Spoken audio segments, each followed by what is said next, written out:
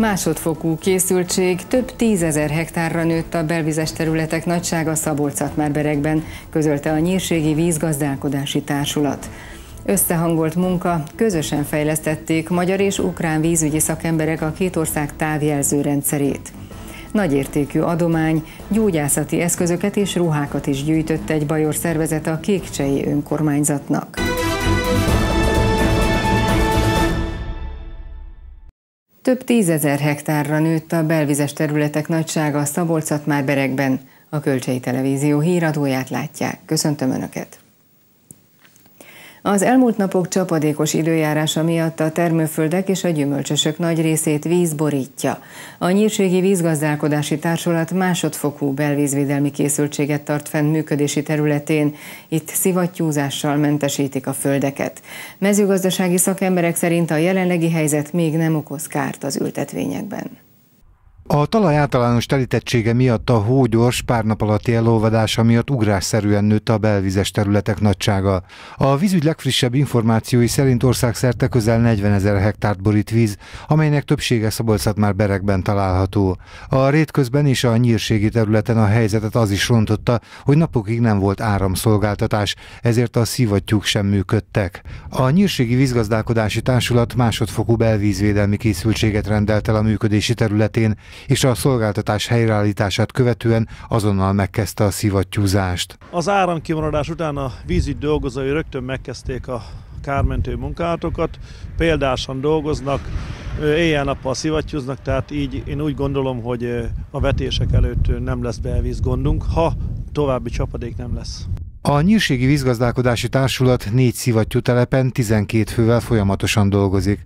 A szakemberek abban bíznak, hogy nem lesz újabb jelentős mennyiségű csapadék. Elöntés a terület működési területünkön elosztva található, de szivattyútelepek rávezető csatornáinál Kemecse Zsadány térségében van a legnagyobb ö, ö, víz még mindig a csatornában. Oda a biztonság kedvéért egy mobil szivattyúval is kitelepültünk, annak az összeszerelése is folyamatban van, hogyha esetleg szükség van rá, akkor azzal is tudjuk segíteni a védekezési munkát. A belvizek egyenlőre nem jelentenek veszélyt a szántóföldekre és a gyümölcsösökre, viszont a tavaszi munkákat hátráltatják, hiszen a felázott talajra nem tudnak a gazdálkodók rámenni a gépekkel. Majd 150 hektár búzát nem tudtunk megszórni, mert annyira vízesek voltak, hogy nem tudtunk rámenni a műtrágyaszóróval még a tavaszi munkák elején vagyunk azért, tehát még talajmunkákat még ezen kívül nem csináltunk. Az Agrárkamara munkatársa azt is elmondta, hogy a földeknek további csapadékra is szüksége lenne. A gondot az okozta most, hogy gyorsan nagy mennyiség érkezett egyszerre. Közösen fejlesztette a magyar-ukrán távmérő rendszert a Felső Tiszavidéki Vízügyi Igazgatóság az Ungvári Tiszai Vízgyűjtő Gazdálkodási Igazgatósággal. Megyénkben és Kárpátalján is egyebek mellett szivattyú telepeket integráltak a távjelző rendszerbe, valamint korszerűsítették a hírközlő hálózatot. Az összehangolt munka gyorsabb felkészülést és beavatkozást tesz lehetővé ár- és belvízhelyzet esetén is. Csapadéktevékenység, vízállás, változás, léghőmérséklet, holvadás gyorsasága, ezek mind fontos információk a szakembereknek a vízgyűjtő területekről. A védekezés megszervezéséhez ugyanis elengedhetetlen, hogy ezekről minél hamarabb pontos tájékoztatást kapjanak.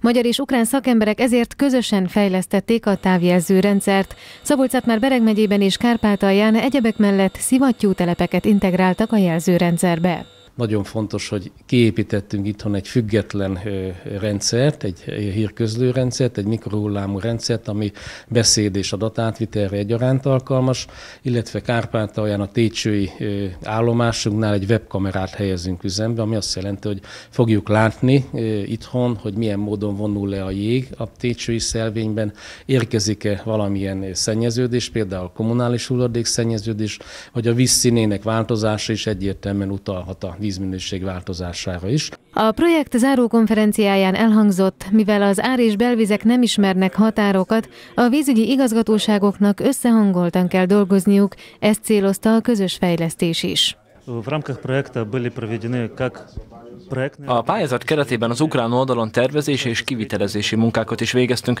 fejlesztettük és bővítettük a közös távjelző rendszert, hét állomáson, szivattyú telepeket integráltunk a közös rendszerbe, korszerűsítettük a rádióhálózatot, továbbá a beregi belvízrendszer területén megkaptuk a távjelző rendszer adatforgalmára az ISO minősítést is. A magyar-ukrán távmérő rendszer továbbfejlesztése 870 ezer euróba kerül, amelyet uniós forrásból finanszíroznak a felek. A program megvalósítása 2011 elején kezdődött, és ez év március végére fejeződik be. Nagyértékű adományt kapott Kék Cseh az Alsó-Bajorországi Tartalékos Katonák Szövetségétől. A szervezet többek között betegágyakat, kerekesszékeket és ruhákat is gyűjtött megyénk egyik leghátrányosabb helyzetű településének. A felajánlások egy részét az önkormányzat saját intézményeiben használja majd.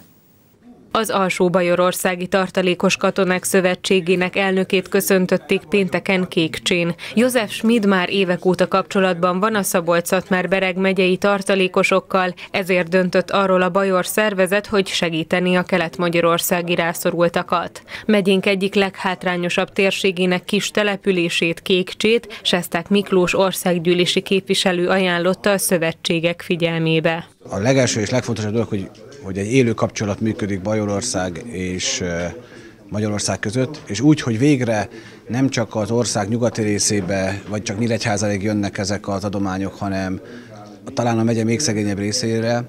Én azt gondolom, hogy az itt élőknek egy reményt ad arra, hogy az a munka, ami elkezdődött, az nem csak munkás hétköznapokkal jár, hanem valami pozitívat is visz az életbe. A teherautónyi adományt az Alsó-Bajorországi Tartalékos Katonák Szövetségének elnöke hozta Kékcsére. Wir haben zehn Pflegebetten Összecsukható ágyakat hoztam olyan embereknek, akik mozgásképtelenek. Ez nagy segítség azoknak is, akik ezekkel a sérült emberekkel foglalkoznak. Az összecsukható, elektronikusan működtethető ágyból tíz darabot hoztam. Ezek mellett pedig néhány kerekesszéket és ruhákat, játékokat. Az alsó-bajorországi tartalékos katona elmondta, szövetségük számára a jótékonykodás szinte mindennapos dolog. Ez az adomány nagyon jókor érkezett. Kékcsén éppen most készülünk felújítani, korszerűsíteni az orvosi rendelőt. Infúziós helyiséget terveztünk, és azokba nem volt ágy tervezve, úgyhogy éppen jókor jött az adomány a kerekes székeket és a többi járókeretet, ezeket az orvosi eszközöket sajnos egyre több beteg és idős ember használja. Ezekkel is tudunk közösen segíteni, mindennapi életüket jobbá tudjuk tenni. Az önkormányzat az adományokat leltárba vette, azokat a legszükségesebb helyeken, intézményeiben és a rászorulók között osztja szét. 73 újság jelent meg Szabolcs vármegyében a dualizmus idején. A kor sajtótörténeti érdekességeiről a Móri Zsigmond megyei és városi könyvtár főkönyvtárosa tartott előadást. László Gézáné elmondta, az 1910-es években átlagosan 10 krajcárba került egy egyéves újság előfizetés.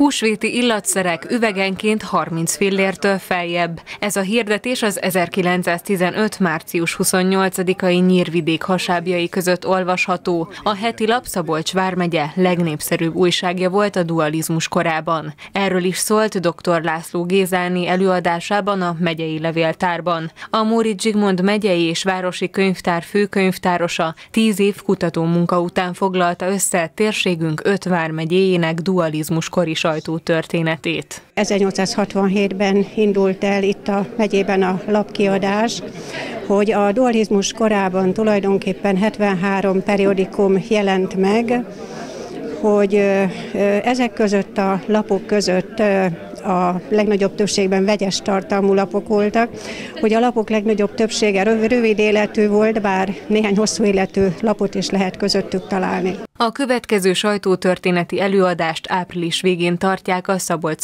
már Bereg megyei levéltárban. A Nyíregyházi Móricz Zsigmond Színház kulisszái mögé tekinthetett be a teátrum nyílt napjára látogató közönség szombaton. A szervezők a Színházi Világnap apropóján fogadták az érdeklődőket. A nagy érdemű ezúttal Villám Randin kérdezhette kedvenc színészeit, sőt, ha a művészek által készített süteményeket is megkóstolhatta. Nekem ez a saját székem. Milyen érzés lehet Tasnádi Csaba direktor székében ülni? Ezt is megtapasztalhatták azok a színházbarátok, akik szombaton a Nyíregyházi Teátrum nyílt napjára látogattak. Két évvel ezelőtt az önálló társulat létrejöttének 30. évfordulóján is szerveztek már a művészek ilyen rendezvényt, most úgy gondolták, idén a Színházi Világnap alkalmából újra szélesre tárják az épület ajtajait. Nagyon sokan regisztráltak a honlapon, és annyira jó érzés, tele van a színház kedves színház iránt érdeklődő emberekkel, akik örömmel pillantanak be a kulisszák mögé, tesznek fel ö, aranyos kérdéseket az életünkről, a munkánkról. Nem csak a színház igazgatói szobájára voltak sokan kíváncsiak. Az érdeklődők kipróbálhatták, milyen szemben a reflektorokkal a színpadon állni. A kelléktár és a jelmeztár kincsei után pedig a művészek költözőibe is bepillanthattak. Volt olyan látogató, aki 1981 óta bérletes előadásban látta a színház valamennyi produkcióját. Azért ez más élmény volt, mint egy színházi előadás, hogy az ember betekinthetett a színháznak a műhelyeibe, hogy a, meglátott, megnézhette a, a díszleteket, a, a ruhákat, úgyhogy ez, ez, és minden porcikáját, minden technikai berendezéseit, hogy beszélhetett a színészekkel, és a színház igazgatójával, Tasnádi Csabával, úgyhogy ez egy nagy élmény volt nekem. A Krúdi Kamara színpad valóságos fotoműteremmé változott, ahol jelmezben is pózoltak a nézők a fényképezőgép előtt. Sokan kedvenc színészük társaságában álltak a kamera elé, hogy így örökítsék meg ezt a különleges találkozást. Országos rekord született ma Nyíregyházán, a részletekről hamarosan, előtte nézzük, mi lesz még a híradóban. Vereséget szenvedett a Marsó NKK együttese. A férfi kosarasok az alsóházi rájátszásban a Pécstől kaptak ki 88-82-re. Kikapott a Nyíregyháza Spartakusz az Újpest második csapatától. A labdarúgó MB2 hétvégi fordulójában a Spari 2-0-ás vereséget szenvedett a fővárosiaktól.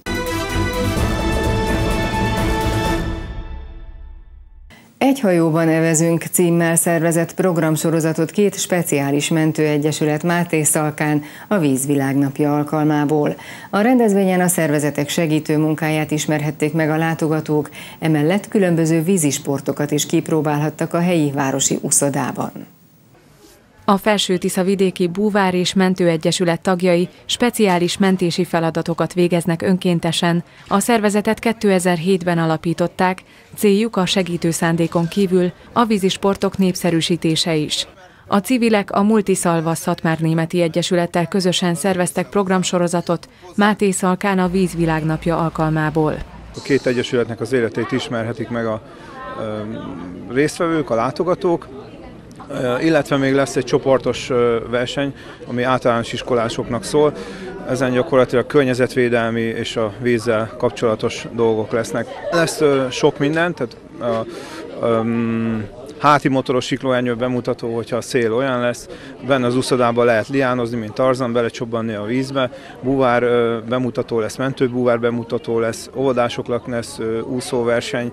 Az Egy hajóban evezünk című projektet és az ahhoz kapcsolódó programokat a szabolcs Bereg megyei önkormányzat is támogatta.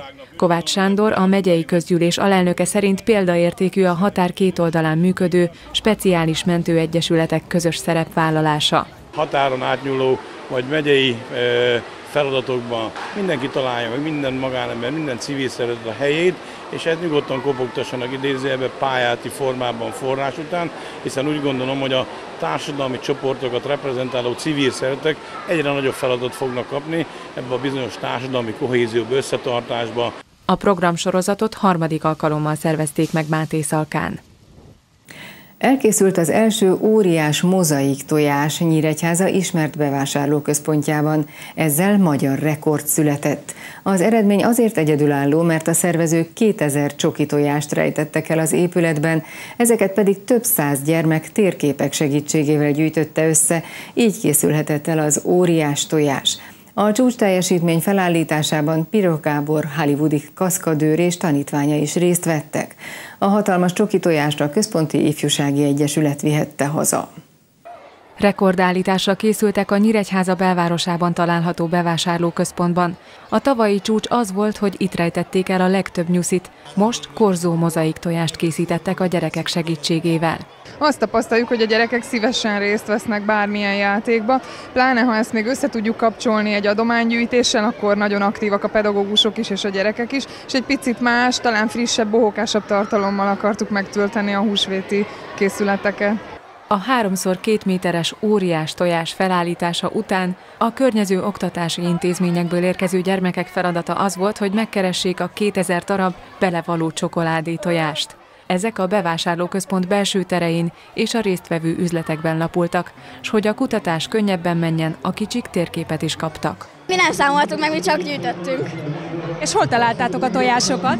Hát minden üzletbe találtunk, mert sok volt, ahol be voltak jelölve. Ott találtunk. A térkép nagy segítséget nyújtott nektek? Hát igen, mert így mert le, le tudtuk olvasni, hogy, hogy hol találhatunk még tojásokat.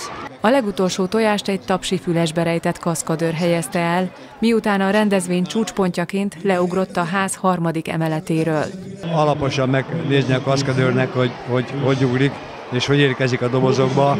Hát azért 15 méterig több mint 70 kilométeres sebességgel fog belecsapodni a dobozokba.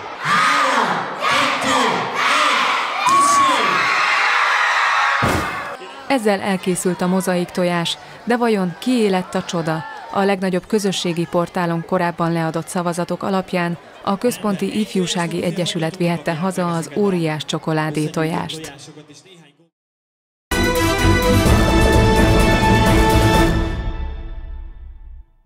Utolsó előtti hazai fellépésén vereséget szenvedett a Marsó NKK együttese.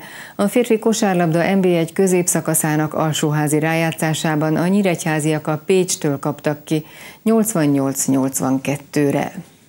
A mérkőzésnek a vendégek számára volt nagyobb tétje, hiszen a pécsiek még bejuthatnak a felsőházi rájátszásba, ráadásul a meccselőti bemelegítés során kiderült, hogy a hazaiak centere Boldizsár Ferenc nem tudja vállalni a játékot. Az első negyedet a Pécs nyerte 25-19-re, a másodikat a Marsó NKK 15-9-re, így döntetlennel zárult az első félidő. A folytatásban fokozatosan elléptek a vendégek, és bár a hajrában faragott hátrányából a Nyíregyházi gárda, 6 pontos pécsi sikerrel zárult a mérkőzés. A mérkőzésnek voltak olyan szakaszai, amikor ez a box plusz egyes védekezéssel játszottunk, az ellenfelet megzavartuk, főleg ez a második negyedre volt igaz, ahol mindösszesen 9 pontot dobott a pécsi csapat.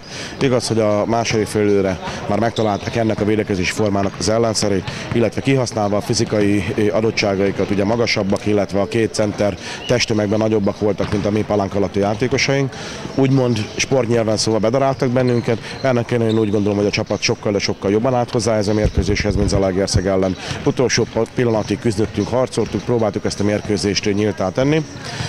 Úgy érzem, hogy talán még egy extra teljesítmény kellett volna ahhoz, hogy ezt a meccset megnyerjük. Sajnos Anthony Nelson a dobásbiztonságban nem nagyon jeleskedett, és önmagához képest gyengébben teljesített, úgyhogy kevés volt az, hogy a csapaton belül két ember, illetve Poják Lászlóval kiegészülve három ember eredményesen játszott. A 26 pontos szerző Berkis mellett a 31 pontjával, közte 6 triplával karriercsúcsot elérő Mohácsi Máté nyújtott extra teljesítményt a hazaiaknál. Volt egy talán 5-6 percet a negyék negyedben, amikor igazából úgy nem voltam foglalkoztatva a pályán, tulajdonképpen szinte labda is alig volt nálam, csak átmentek rajtam az akciók, és akkor éreztem, hogy mostantól gyakorlatilag e, kipihentem várom az utolsó 3-4 percet, így is történt. Amikor az elsőt berobtam, akkor azt éreztem, hogy nagyon örülök. A másodiknál, a harmadiknál pedig már úgy voltam vele, hogy gyakorlatilag ami mostanra a kezembe kerül, az be fog menni, tehát volt egy olyan önbizalom bennem, ami hozzásegített ahhoz, hogy zsinórban egy triplát tudjak berakni a végén. A vendégek edzője szerint a második félidőre állt össze csapat a játéka. Jól kezdtük a mérkőzést, a második negyedben volt egy üres járatunk, ami abból adódott, hogy mindenki próbálta a másikra áttolni a felelősséget. Folyamatosan azt súlykoltam a játékosokban mérkőzés előtt is és a szünetbe is, hogy semmi extra dolog nem kell nekünk itt ezeken a mérkőzéseken, csak mindenki legyen bátor. Tehát tudtuk, hogy a Nyíregyháza ki fog találni valami különleges védekezést erre a mai mérkőzésre, de semmit más nem kértem, mint legyünk bátrak. A második félidőben ezt megcsináltuk, és úgy érzem a második félidőben elég simán hoztuk is a mérkőzést. Az alsóházi tabellát a 13 győzelemmel álló Szombathely vezeti, a 12 sikerszámláló Sopron és a 11 győzelmet szerző Pécs előtt. A jelenleg 9-15-ös mutatóval álló Marsó NKK legközelebb április 6-án Szombathelyen lép pályára. Vereséget szenvedett az Újpest második csapatától a Nyíregyháza Spartakusz. A labdarúgó MB2 19. fordulójában a Sparik 2-0-ra kapott ki a fővárosiaktól. Túlzás lenne azt állítani, hogy a Nyíregyháza Spartakusz új vezetőedzője Lucsánszki Tamás ideális körülmények között készülhetett első bajnoki meccsére új csapatánál. Az már korábban eldőlt, hogy a védelemből sérülés és betegség miatt hiányozni fog Ambrus Bodnár és Korolovski, a meccs pedig kiderült, hogy a támadó szekcióhoz tartozó Csorbára és Jeftise sem számíthat a szakember. Ennek ellenére a neveket és a rutin tekintve a vendégek számítottak a találkozó esélyesének. A 90 perc során azonban borult a papírforma, a hazaiak a 27. percben Zamosnyi lövésével jutottak előnyhöz, amit a szünet után két perccel Horváth duplázott meg. Mivel a Spari csak helyzetekig jutott, a piroskékek 2 0 vereséggel távoztak a Megyeri útról. 18 fordulót követően a 34 pontos Békés Csaba áll az MB2 keleti csoportjának élén, megelőzve a 33 pontos Vasast és a 32 pontos mezőkövesdet. A 25 pontos Nyíregyháza Spartakusz a hatodik helyen várja a Békés Csaba szombati vendégjátékát. Híradónk végén nézzük a legfontosabb híreket még egyszer röviden. Nőtt a belvízzel elöntött területek nagysága, közölte a Nyírségi Vízgazdálkodási Társulat. Az elmúlt napok csapadékos időjárása miatt a termőföldek és a gyümölcsösök nagy részét víz borítja. Közösen fejlesztették magyar és ukrán vízügyi szakemberek a két ország távmérő rendszerét. A beruházás az ár- és belvízvédekezésben is segíti a megyei és a kárpátaljai vízügyi szakemberek munkáját.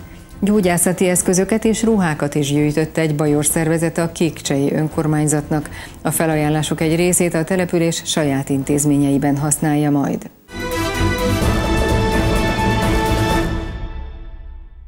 Ezek voltak az elmúlt hétvége és a hétfői nap legfontosabb megyei vonatkozású hírei és eseményei a Kölcsei Televízióban. A legfrissebbekről legközelebb kedden este hétkor ugyanitt a híradóban tájékozódhatnak, addig pedig böngészték weboldalunkat, minden fontos információt megtalálnak ott is. Munkatársaim nevében is köszönöm megtisztelő figyelmüket, legyen nagyon kellemes az estéjük, ha lehetséges a Kölcsei Televízióval. Viszontlátásra!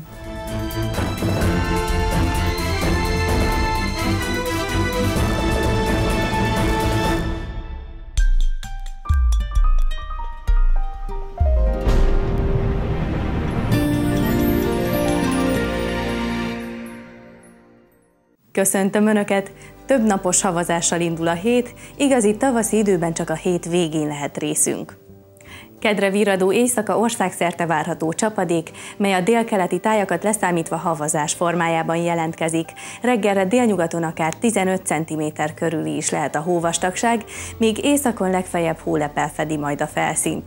Napközben is országos havazásra kell számítani, a középső ország részben gyenge lesz légmozgás, máshol mérsékelt, időnként megélénkülő északi északkeleti szél várható mely további fófúvásokat is okozhat. A hőmérséklet csúcsértéke fagypont körül várható. Megyénkben éjjel túlnyomóan borult lesz az ég, egyre nagyobb területen várható havazás. Az északkeleti szél megélénkül, időnként megerősödik. Reggelre általában mínusz 4 fokig csökken a hőmérséklet. Napközben is folytatódik a télies idő, túlnyomóan borult lesz az ég, melyből további havazás valószínű.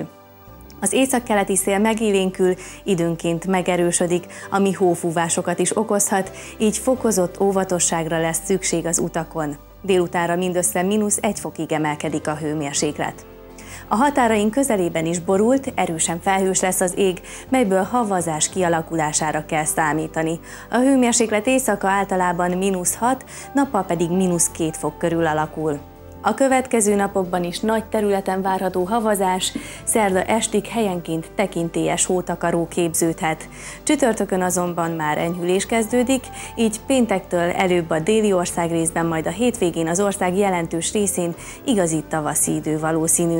Azonban többfelé várható első zápor, és megjelennek a zivatarok is. Ezzel megköszönöm a figyelmüket, szép estét kívánok, viszontlátásra!